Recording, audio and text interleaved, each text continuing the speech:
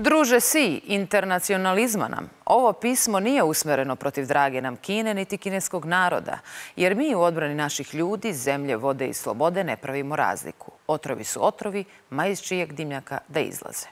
Tako su kineskom predsjedniku pisali iz ekološkog ustanka, a danas su iz drugog pokušaja, zajedno sa meštanima sela koje kineski rudnik u Boru ugrožava, poruke ostavili ispred kineske ambasade.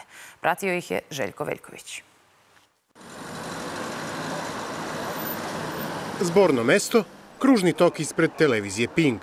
Učesnici, meštani Slatine, Metovnice, Krivelja, Bučija, Oštrelja, Brestovca, Brezonika. Sela koja nestaju pred ekspanzijom kineskog rudnika u Boru. Iako im zgrada Ružičastog carstva nije cilj, Pink je za svaki slučaj pripremio ekipu za doček. Ovi ljudi u Beograd su došli da se žale drugoj državi. Njihova ih je policijskom blokadom prošlog vikenda zaustavila kod Paraćina – pa im ovog pomaže i ekološki ustanak, sada deo koalicije Moramo.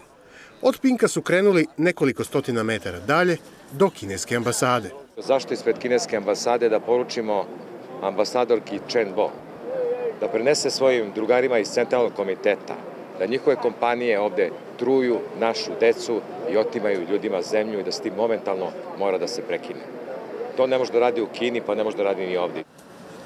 Pred ambasadu su doneli poruke, neke od njih tu i ostavili. Prodali ste nas vreme za novu 35. 1935. Prvo je rudnik osnovo Vajfer, pa ga je prodao Francuzima. A rudari su 1935. podigli pobunu i najurili Francuze. To će se desiti i ove. U gradu nastalom oko i zbog rudnika i okolnim selima, ljudi su navikli na sve posledice koje rudarstvo nosi, jer odavno su umrli oni koji su se sećali kako je izgledala priroda koju su zamenili kopovi, jalovišta i zatrovane vode.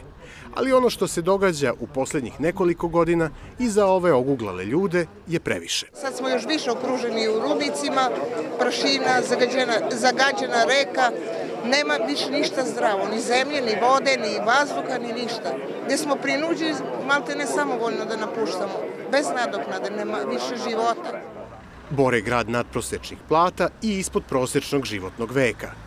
Neki žive dobro, svi žive kraće. Oko 6000 ljudi koje zapošljava Ziđin prosečno mesečno zaradi oko 100.000 dinara, ali oni i svi drugi borani prosečno žive skoro 10 godina kraće od republičkog proseka.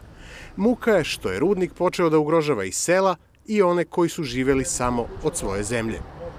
Moja kuća je 500 metra od udaljeva Šta se promenilo kad su došli Kinezi? Pa sve otišlo na gore. Znači, uzeli nam i manje. Meni uzeli 200 društva pčela.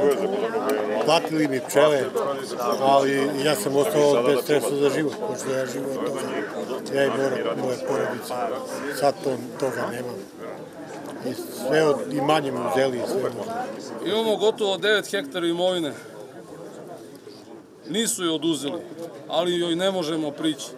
Svi putevi ka toj imovini su u blokadi. Kako ćemo mi prihodovati? I kad nam je budu oduzeli, čega ćemo mi živeti? Dobit ćemo novac. I šta sa njim? Kuda? Cela Timočka krajina je pod istražnim pravima. Na transparentu piše čije je moja dedovina, čije je naša dedovina. Čije? Naše ali ovim, ovim postupkom što se sada radi, naša dedovina se otima i daje se kinezima gde se to proknjižuje u geodetskim službama kao da je to njihova svojina. Znači, ovim zakonom u rudarstvu moja dedovina postaje kineska svojina i mi tu sada smo nemoćni i ne možemo ništa.